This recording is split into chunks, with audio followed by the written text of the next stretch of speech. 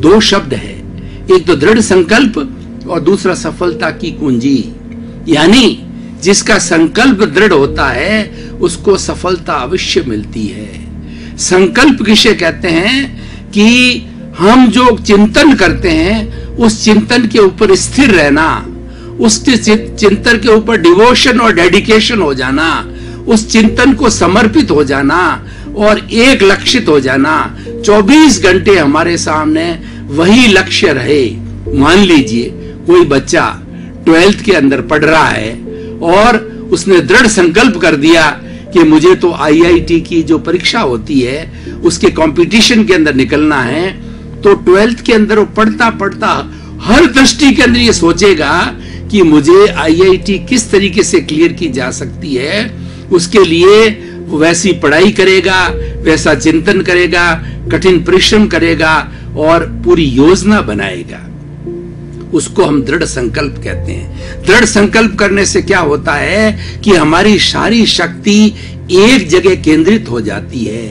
एक जगह केंद्रित होने के क्या लाभ है? मैं आपको बताना चाहता हूँ कि हमने स्कूल के अंदर एक्सपेरिमेंट किया प्रिज्म का।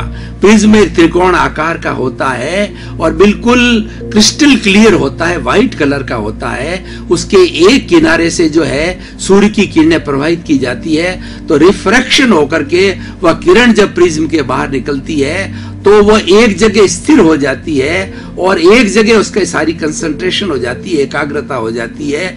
उस जगह पर अगर कागज़ का टुकड़ा रख दिया जाए तो कागज़ का टुकड़ा जल जाएगा। क्योंकि जो सूरज की किरणों का ताप है, वो सब एक जगह केंद्रित हो गया।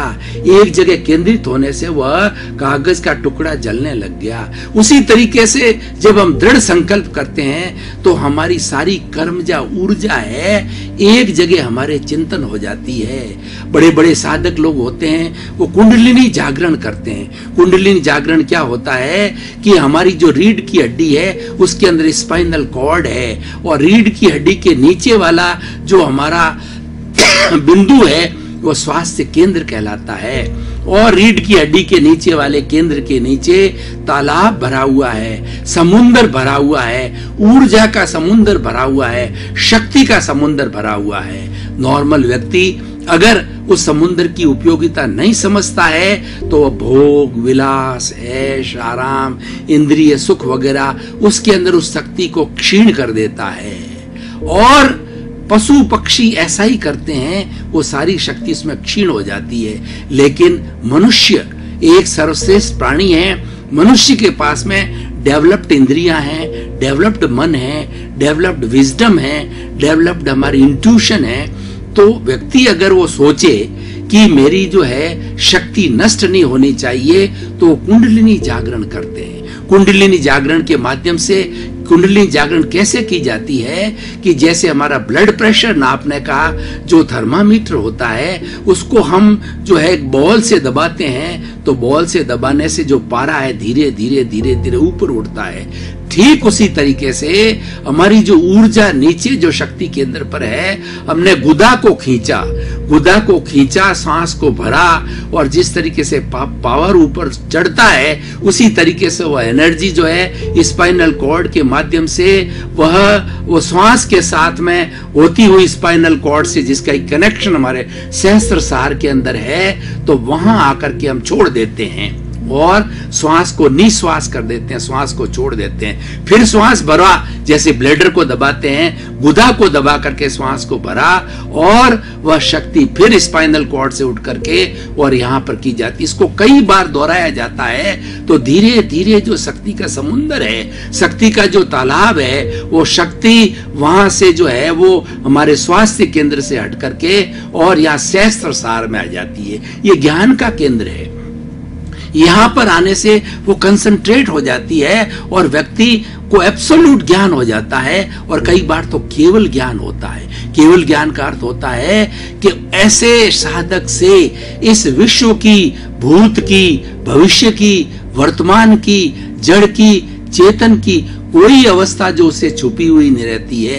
एब्सोल्यूट नॉलेज हो जाता है। उसके बाद में कुछ भी प्राप्त करने का उसको शेष नहीं रहता है। ये किस कारण हुआ कि कुंडलिनी जागरण सारी शक्ति जो नीचे व्यर्थ जाने वाली थी, अब्रह्मचर्य में जाने वाली थी उस शक्ति को उठा करके सहस्त्र ज्ञान केंद्र पर ला गया। तो हमारा जो हमारा जो माइंड है जो जिसके अंदर ज्ञान भरा हुआ है वो सारे हार्मोन्स उसके डेवलप हो जाते हैं। वर्तमान में व्यक्ति ज्ञान का दो या पाँच हिस्सा ही यूज़ करता है माइंड का। लेकिन ये हमारी जो ऊर्जा वहाँ ज्ञान की भर जाने के कारण व्यक्ति 95, 97, 98 परसेंट हंड्रेड परसेंट तक जो है उस ज्ञान के जो माइंड का, जो हमारी ज्ञान के जो हारमोन्स है, उसका यूज़ करते हैं और केवल केवल ज्ञान को प्राप्त करते हैं। तो मैं ये क्या कह रहा था कि दृढ़ संकल्प शक्ति से जो है, एकाग्रता हो जाती है। जैसे हम ध्यान करते हैं तो ध्यान करने में क्या होता है कि बाह्य साधनों से जो है,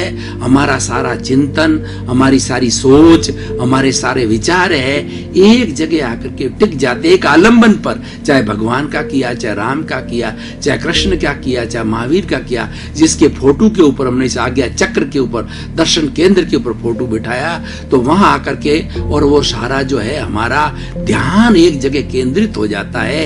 एक जगह केंद्रित होने से प्रसन्नता हो जाती है, और शरीर का रोम रोम आनंद से पुलकित हो जाता है, क्योंकि उस ध्यान की एकाग्रता से होता है।